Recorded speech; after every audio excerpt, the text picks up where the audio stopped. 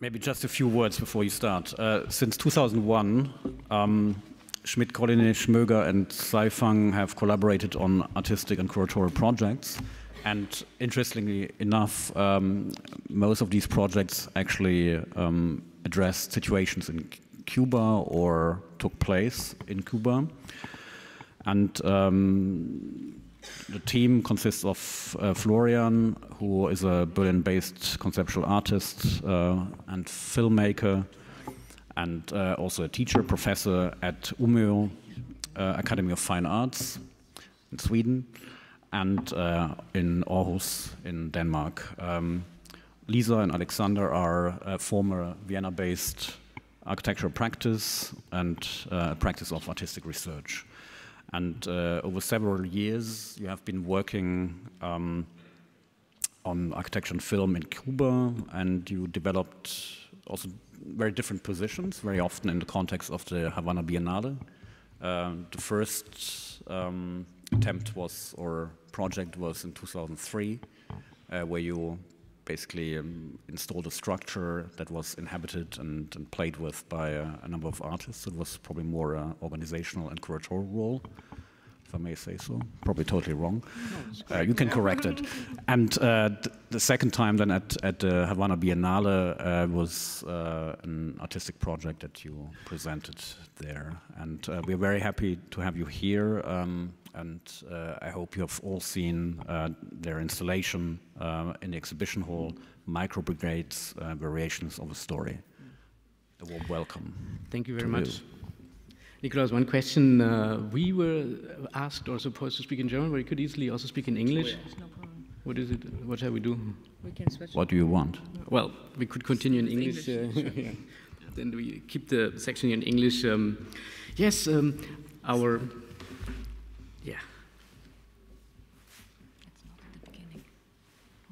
Okay.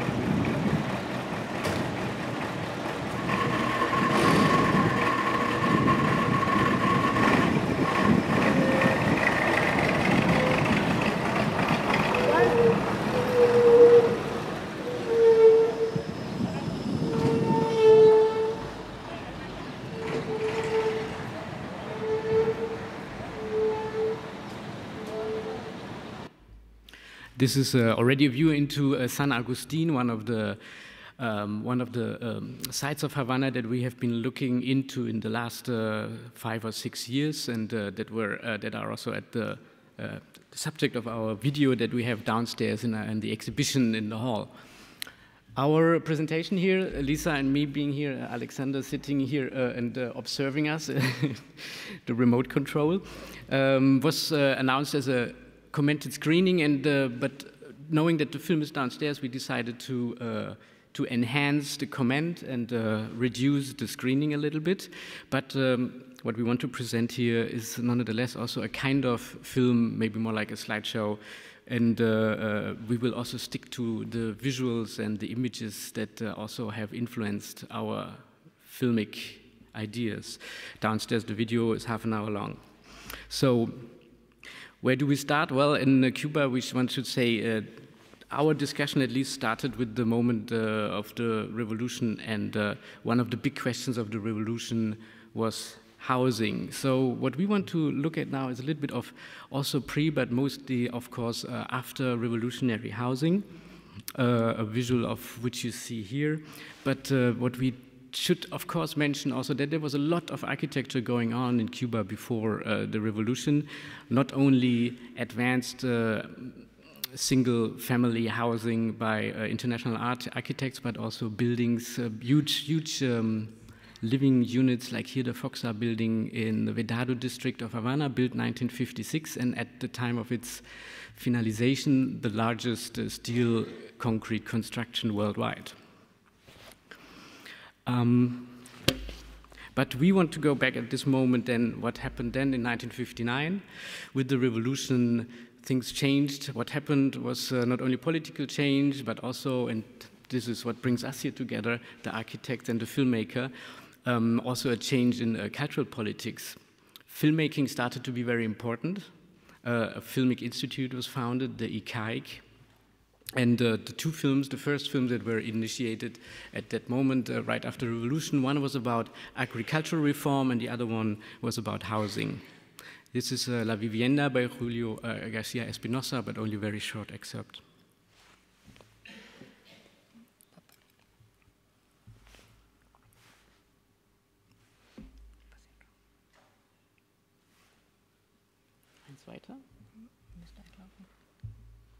Well, maybe this film is not coming up here. Maybe.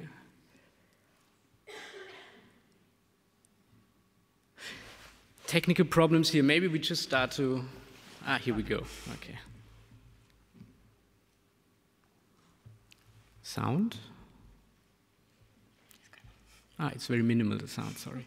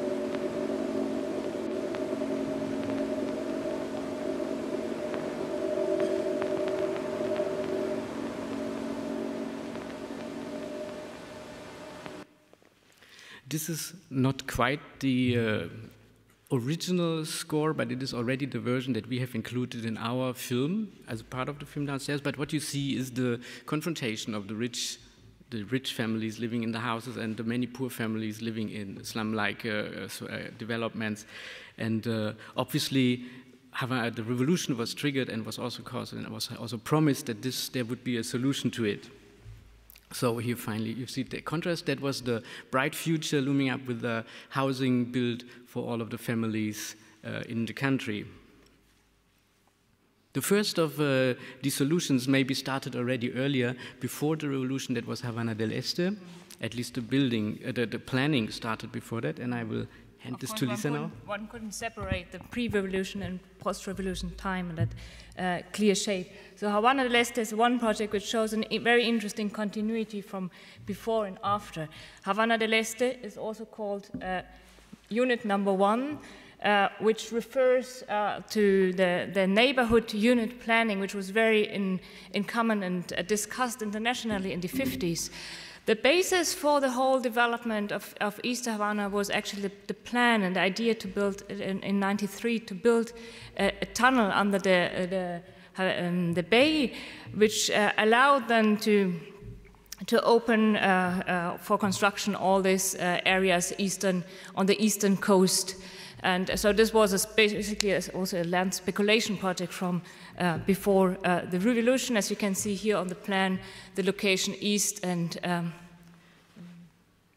here you see Old, Old Havana and uh, East Havana. So interesting, this discussion of, uh, of the neighborhood unit uh, quite internationally. Uh, you see here that it is uh, um, one uh, unit was then built, that was construction actually was started then according to, to a master plan, and one unit was built. You see that there is this uh, circulation uh, for car traffic, which uh, forms the boundary uh, of, the, of the whole area. And also interesting to see that uh, the, the core basically is, the, is, empty. The core is for the sports fields for, and for the green area, and the houses are regrouped around, and then smaller streets are just uh, going as a cul-de-sac into the area and inside its pedestrian area. Also, of course, um, what was important, the addition of common program as schools, um, but also shopping facilities. and uh, the pedestrian area and uh, the, the, greenery inside. Havana del Este was also then called Ciudad Camilo Cienfuegos. So this was part of then the appropriation uh, process of, uh, of the government uh, to take, to show off this project as one important project of the revolution, standing next to other important projects as the, the uh, campus, a university building, and the, the famous art schools, which were also constructed in, in uh, the beginning of the 60s. So this was done uh, also very showed off at the, in 63 there was uh, an International Architecture Congress in Havana where more than 2,000 international architects were uh, coming and they were all uh, visiting uh, uh this uh, complex. And you see that, um, and also in the section that is a, a, more demanding architecture, we have a, a split level and also a reaction to the climate with these possibilities of ventilation. Um, just some, some images of uh, also, you see the, the relation of uh, very high buildings, the 11 store buildings, to the, to the lower buildings. So, this was all these concepts of how uh, to create an, uh, an interesting uh, neighborhood. But of course, so this was uh, for um, around 1,300 uh, housing units. So it was a very unique project, and of course, this was not a project where uh, the question of housing could really uh, solved on a larger scale. So it, re it remained a problem, and then uh, slowly voices became uh, more heard uh, that um, were proposing prefabrication as, as, a solution for mass housing, um, and especially the big panel uh, production. Actually, in 63, there was a large uh, hurricane who was uh, devastating part of the, of the country, and then the Soviet Union uh, financed a production plant of these uh, large panels, the, was called the, the Grand Panel, Grand Panel 5, which was also used in the Soviet Union, but actually derives from the French uh, Camus system, so this was used uh, in, in, in, the 60s for a couple of, of, buildings, but so the advantages are obvious. You have less uh, work and also you need uh, less wood, which actually was a topic at, at the time in, in uh, Cuba. Um, but as you can see, the construction process, it's also, it needs heavy prefabrication, so it needs a lot of uh, uh, material, but also a lot of technical equipment. So uh, in the end, uh, this uh, large panel uh, prefabrication didn't uh, really uh, solve the problem. So another solution which was thought of was then why not let people build their houses themselves? And through this, the ideas of the micro brigades were pronounced first in 1970. And this is very interesting because 1970 is, is a year where another enormous, uh, huge collective project was uh, pronounced and proclaimed, which was uh, uh the, the uh, 10 million, 100, no, 10 million tons uh, sugar harvest. Um, which was to be reached within one year, and which was actually nearly reached. they just missed it about 1.5 tons. And you see that it was also a, a large um, campaign in uh, the television and uh, cinema who was then promoting this project. But um, it was nearly reached, but nonetheless, uh, it ended in a in a kind of economic catastrophe because there was a, a large breakdown because of the machines breaking down, because the transport of not being able to handle the amount. And uh, this is, for example, so that is the situation that we face at this moment, the beginning of the 70s, which is also called uh, the gray quintennium, the gray uh, uh, year fifth, so to say.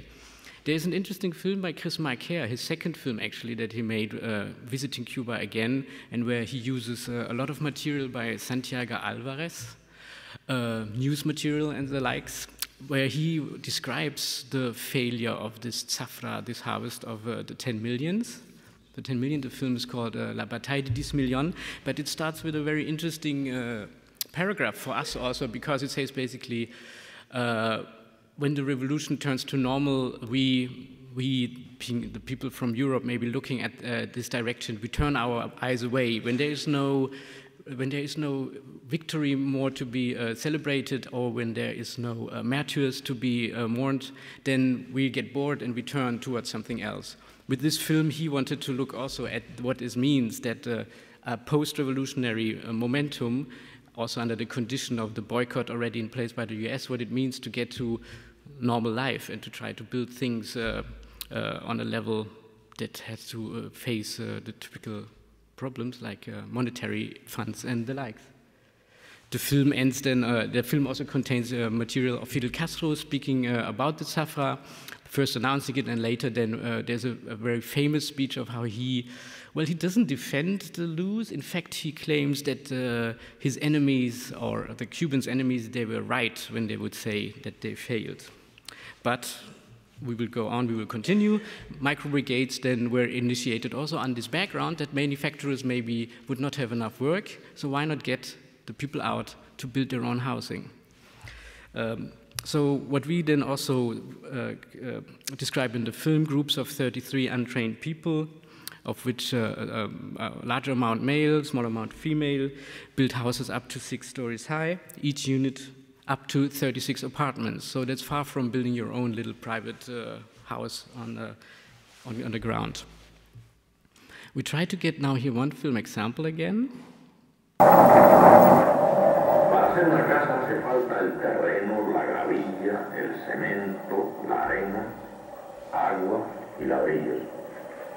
La madera, las instalaciones las instalaciones eléctricas. Pero fundamentalmente son necesarios los hombres.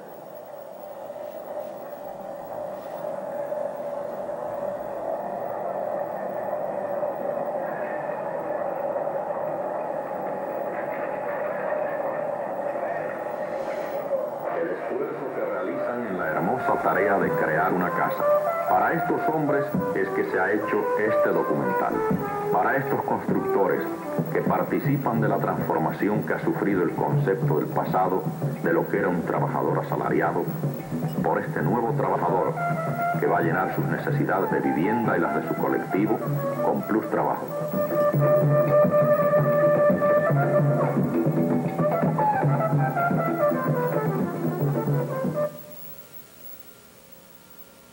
So. Um,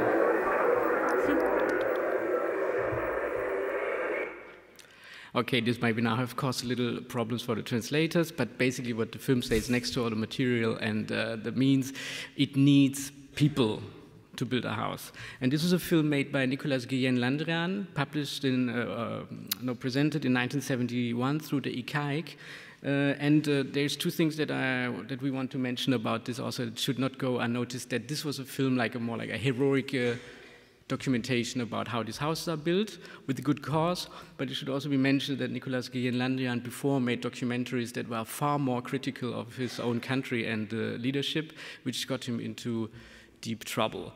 So, for example, his film Coffea Arabiga, which you find on YouTube, um, it was a very important one that caused him a lot of trouble. Our film also owes a lot to Nicolas Guillen-Landrian because we kind of refer to his filmic language uh, in many ways. Now, Lisa, I hand it to you again. So you see one, one of these very uh, simple buildings, four, uh, five stories high. And to build these uh, buildings is not only that it needs people, but it also uh, it means uh, building uh, with very simple means. So it also needs a simple plan. So actually already in the 60s, uh, there were studies at the Ministry of Construction going on how to develop a very efficient ground plan and also to develop efficient building techniques. And there was there was uh, these these test designs uh, called Edificio One, Edificio Two, Three, and um, then one. Um, test building was, was constructed apparently in the, in the courtyard of uh, uh, the National School of uh, Communist Party instructors, where uh, there were um, one of these buildings, building blocks uh, with two staircases and uh, five stories high, which was apparently built by three people within only six months. Um, so actually, when then, then the um, this plan of the 10 million tons of sugar uh, couldn't be completed, it was immediately that Castro brought up this new pro pro program. And uh, so the Ministry of Construction had to react fast, and they drew out of the uh, drawer the plans that existed. And this was, at the moment then, it was the type E14, so Edificio uh, uh, 14, which just became then the standard uh, blocks for a large-scale mass housing. So here you see one of these examples.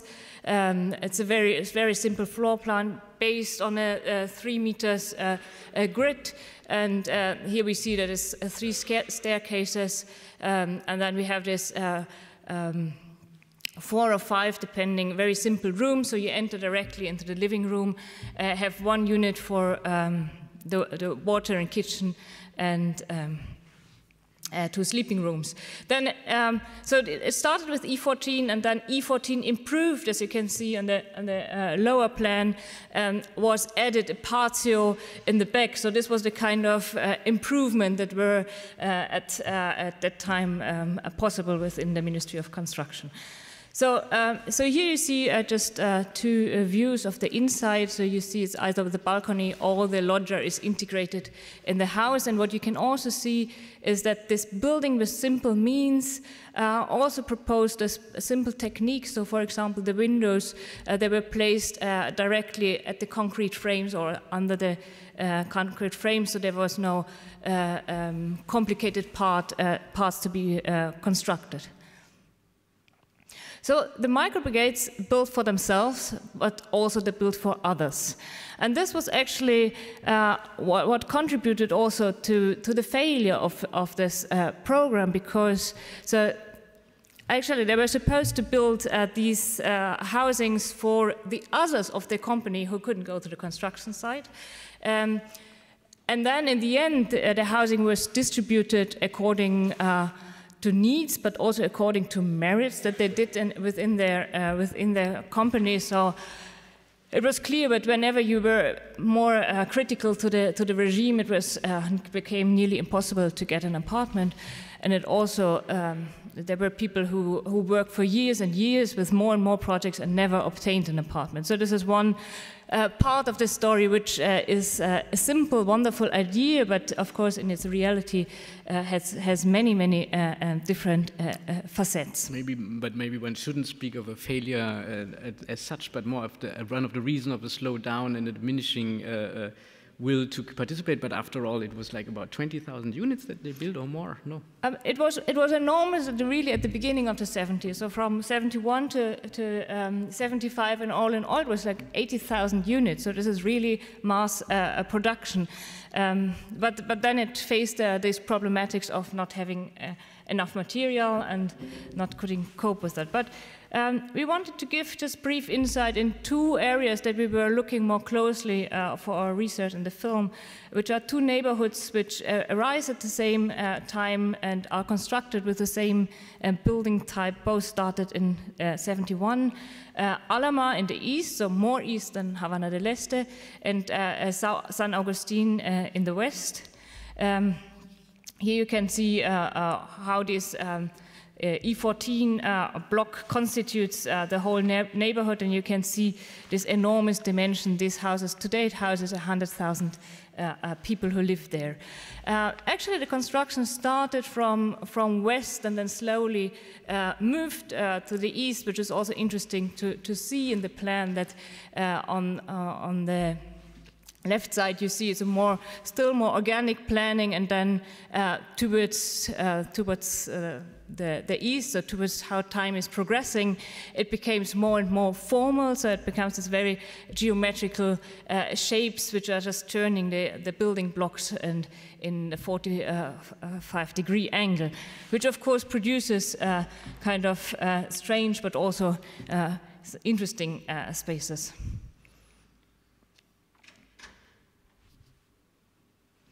This is one image from, from the uh, quite a western part now of, this, of the Alamar settlement. Uh, they are then named like micro uh, 1, 2, 3, this is micro 10. Um, and so how time moves, uh, this is also not uh, constructed by the classical micro brigades. Uh, it, it, were also then prisoners who were included into the construction of these buildings. If we look at this other settlement in, uh, in in the west, San Agustin, it's interesting that with the same, exactly the same building block, so there's, there's 45 meters uh, long and 9 meters uh, uh, width, uh, it's nevertheless quite a different neighborhood uh, which arises. Uh, here you see the, the plan, you see the dimension of the same blocks. And uh, what is interesting that uh, in San Agustin there had been an, an, an plan, a plot plan, a parcellation existing before, and so it was uh, in the, in the uh, early 50s when this were a little distributed into little lots where people uh, built their uh, kind of holiday houses or little fincas, and so this was kind of an existing pattern and. Um, then the large uh, blocks, they, they uh, intervene and superimpose with this fabric, which of course uh, makes a different uh, kind of uh, a neighborhood. And also it's uh, closer to the center of Havana and easier to reach. Because the Alamar settlement is also called Siberia by the people because it's so far from everything and difficult to reach as public transport definitely degraded completely. It has an incredible lively hip hop scene, by the way. Yeah. So there, there's another like chapter or aspect uh, which uh, we wanted to to bring in because it's uh, quite interesting the way how uh, how the micro brigades has dealt with different systems, building uh, systems, and then also with the use and misuse or mixture of uh, different systems. One one which um, we came across is the Sistema Giron. And the Sistema Giron didn't have anything to do with housing. It was also developed in uh, 1970. It was uh, developed uh, along um, this idea to build uh, large-scale schools in the countryside. Um, this went along with a plan to increase the production of, of citrus plants and um, to, to, have the idea to educate and at the same time make people work on the plantages. And um, so there was a, system, construction system needed which was very flexible to build these schools, uh, easy to, to, to, be transported, and uh, this is system uh, with uh, spans of uh, six meter, uh, very simple system with columns and uh, this slept pre under, under pretension was then developed for exactly these kind of school buildings where there was and, the, and the, within a couple of years, I think within two years, there were 500 of these schools. Um, one, one, one detail about one detail only about this uh, image. You might see it from uh, far. I hope the school is called Olof Palme. The, the, Cubans had strong connection with Sweden, and at that uh, moment were also very admiring the Sweden One Million program. So when we talk to them now, 25, 30 years later, uh, 40 years later, they always told us, yeah, but the Swedes, they really built the one million because the Cubans are as often the most critical of their own uh, uh, program and um, as also of this one. So one, one, one detail we see that this uh, that this the slab under tension also creates some uh, sculptural uh, ideas which are quite nice. Um, in the meantime, uh, the E14 type was uh, um, added. There was another building uh, type developed uh, which was called the SP um, 2072. so the super panel developed in 1972. And uh, the change was that now um, these, uh, um, it was a mix of, of prefabrication and then manual labor. And so this prefabricated system allowed spans now uh, of six meters. And this was, the interest in this was that also maybe the ground floor could be used for other things, which was definitely not possible with the E14. The ground plans, uh, nevertheless, they stay exactly the same. So it is uh, just this change of, of the construction system. And then through this change of the six meters and having this mass of material produced for the schools, it became just a very uh, natural uh, Cuban way of uh, working that these uh, slabs were then integrated into housing uh, building. As you can see here, that these are these minor changes in the facade that you can see this uh, sculptural element of this slab. And also you see that uh, the, the, uh, if you remember the, the images from the, um, from inside before it is the same the same uh, living room with this uh, three meters uh, width, and then you have just half of this uh, slab, which could of course span the double. The slab being the ceiling element, correct? Good. Yeah, this was soon then also taken out of the system and being and being there in large masses it found also new ways of using it. So here, for example, you see the same ceiling element turned around and used as a bench. And then here in the next image, you see the same ceiling element now building the ceiling of a bus station. But we found it also as a pathway construction. And uh, that was also the reason. Um, so there was, it just turned out that this is a system with manifold usages, if you like it to be. And this was for us the reason to single out this element also in a first, uh, first uh, installational um, version of uh, microbrigades variations of a story that we did for the um, for the Alternativa in Gdansk, and where um, where we have this, uh, we have like a cast of the ceiling element that theoretically could be filled with concrete, and making such an element to be used now also in this new location. In the background, there's a poster of the older gran panel system, and next to it, there's a small monitor with an amount of, with 40 slides, which were then at that moment basically starting to build up the story for us, the story that we wanted to tell, and which then uh, in the next version we later turned into this film that premiered in the Berlinale here in uh, Berlin, which uh, is now visible downstairs in the exhibition starting every full and every half hour if everything goes right, and where you can also see a lot of people interviewed that were uh, like Mario Coyula, town planner and architect and artist. And there you will see also what, uh, what we described before, that there's so many ways that this program, which was successful in numbers, nonetheless can also be criticized, and is, of course, especially best criticized by the people who live in it or by the people who have been working with it, by the Cubans. So one comment to this was, for example, that when we showed Mario Coyula, the film later, he said just uh, he didn't find it critical enough. Um, that being it. I, I, mean, one one idea also why we wanted to change that format, not to to um, to show the film, is that for us it's not a story which stops. We are just, I mean, it's the whole material is really a way of collecting, traveling, collecting, and because of course the, all this information on housing in Cuba is very difficult uh, to access, and it has so manifold different aspects. And uh, so we still still go on and we still go uh, regularly and look for where the new microbrigade uh, system, because continuously we hear that they still exist.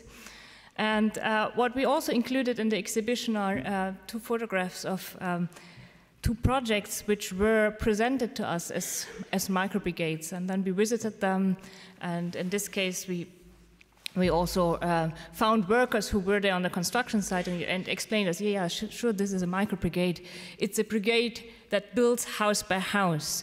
But it turned out that they had not really, and, uh, or they had lost this notion that the micro brigades built for themselves. They just linked it uh, with the idea that a brigade builds a house and then another house, and this idea of small uh, uh company, which uh, is a brigade. So it, this was interesting for us to see that this term of uh, micro brigades is, is, so present everywhere, but the notion seems to shift at the moment. Even, even though in the case of the last images, you were talking about the construction for by military and for military, where soldiers were involved. So, in a kind of new way, interpreting it, there was a brigade that was building for themselves. Mm.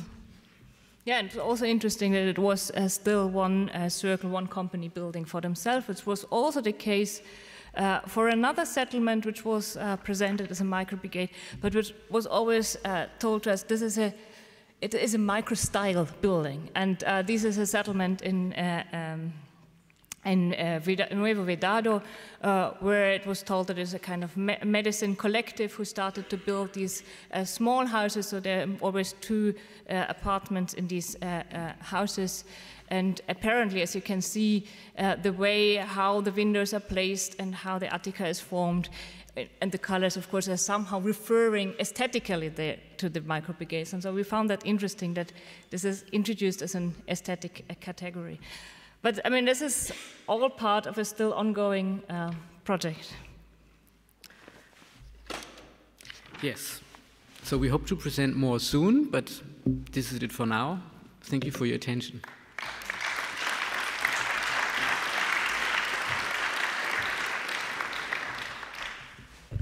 Thank you so much um, for the insights and extension in a way of uh, what you are showing in the exhibition. I, I, was wondering, maybe you can clarify one, one uh, point, um, is somehow the relation between planning, like engineers or architects, and the micro brigades. Was there any contact or was this just a kind of top-down um, process where a where prefab elements and a standard house was somehow given to the workers and then they um, started building yeah. just to to get a maybe the larger picture picture of planning in a way. It's actually interesting because when we saw these buildings first, we thought that uh, planning and design would be more involved also by the inhabitants.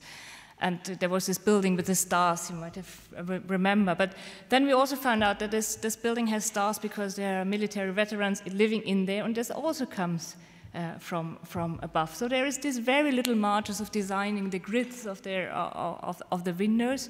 And it was actually really that plans were handed out to these micro brigades and that, uh, that, this exact plan of the E14 was like copied like in staples.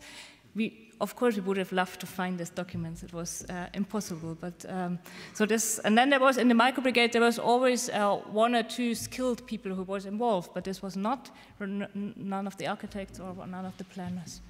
Um, there is a, in our film, there is, for example, Daniel, the architect, uh, commenting that uh, when he got involved in it, he's a younger, uh, he's a generation that worked with it in the late 80s and 90s. They tried, well, late 80s, they tried to restart the program, and they felt like, yeah, this is much less centralized than before, and they felt really kind of looking towards a future and towards something else. But then uh, the East, uh, the Eastern Bloc broke down and the money went away because it was a, a huge subsidized by uh, Soviet Union. So that moment, and we called it another variation of the story, that moment after being a, a rise again, there was another crack, uh, crackdown for the, for the whole project. And, um, but then also towards the end of our film, he's also announcing basically, I mean, it could be so easy. Give, give, the, give out the land, give some loans, and let the people just build without this control from top down.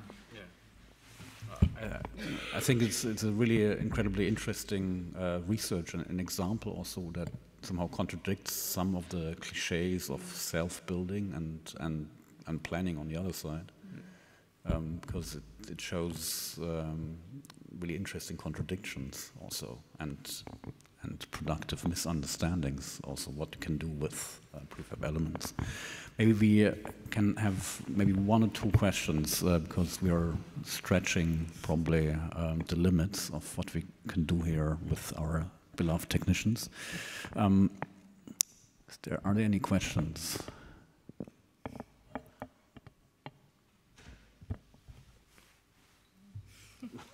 All overwhelmed. overwhelmed.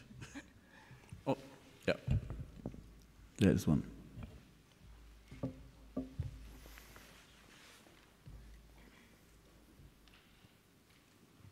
Thank you. Thank you for the presentation. Uh, when I was there in, in Cuba was long ago, so uh but what they told us a lot was about the difficulties uh, concerning the materials. You mentioned it, just if you can talk a little bit more about that, uh, that this kind of mass production of housing faced uh, a lot of trouble because of the difficulties imposed by, by the, what you call, the impossibility of importing some kind of important materials, construction.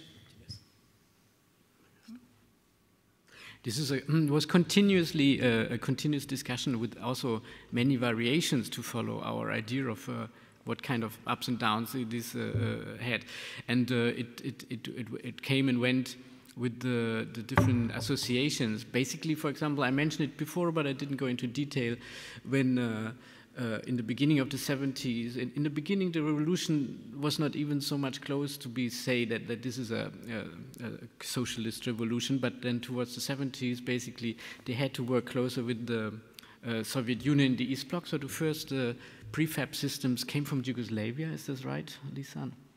Yeah, there were many different systems imported from, from Europe. So they were up and up and down. There was also then related to the ability of these foreign states to support the um, uh, the the ideas in Cuba. They were dependent on that. What we have also in the film is, for example, then also that there's a concrete plant that was uh, a gift by the GDR and that was opened uh, uh, by Erich Honecker himself visiting the country. But also this took like eight years to build, and uh, so this, it was always a slow slowing down and, and, uh, and increasing of uh, speed on the basis of how much material was uh, available. And then the 90s saw, of course, a very hard cut down on these kind of things. But actually, we also also by now we do not see a very lively uh, home program there. The military. That was the buildings that you saw, which were the newest ones, second from last before the doctors' ones. The military, of course, always uh, had uh, the first hand on material and is closest to it because the military not only is uh, um, basically the military power, they also, uh, they also traditionally control the tourism and tourism means at the moment the most money. Ra Raúl, which is now the president, was before the head of the military. So you can see why military units can be built, but hardly anything else is built at the moment. There is some private initiatives, though, but minimal. Yeah. Okay, I think we. Here, Franziska Bollerey. As has the last word, almost, but you have to answer.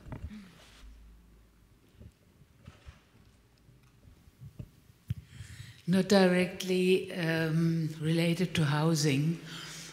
Um, as far as I know, there were problems after the breakdown of uh, the Eastern uh, uh, community or whatever, Warsaw Pact uh, uh, here in, in, in Europe without subsidizing by the Soviet Union and GDR or whatever.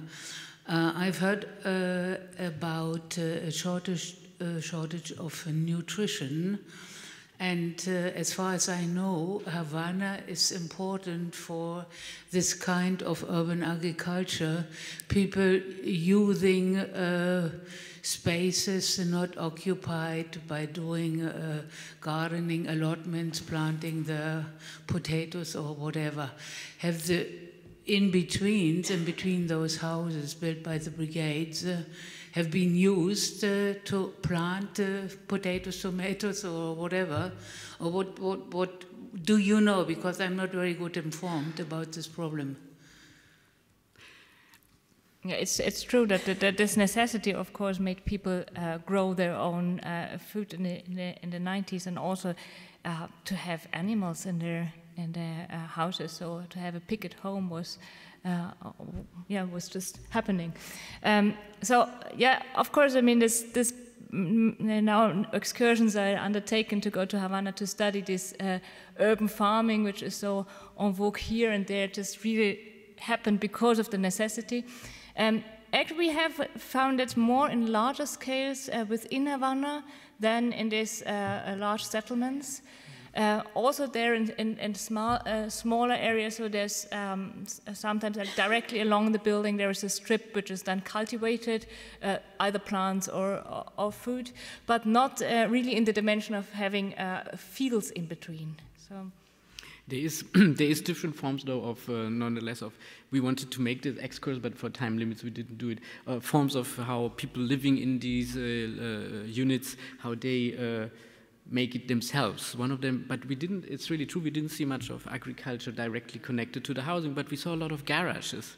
And um, it's not the only country where one can observe that how much the garage space as a space where you can put things in, not only cars, but everything, then uh, how important it seemed to be. And so there's a lot of uh, shift, like makeshift kind of uh, small units of metal, of wood, and anything. The town planners that were at that time connected with the micro brigades, they hated they just hate it. It kind of completely like destroys their idea of how it should look like. But I mean, it's there, it's needed, it's done, you know. So that process, there is a process going on. Wonderful. Thank you so much, mm-hmm. Florian and Lisa, and all of you, you. for your persistence and thanks for your patience.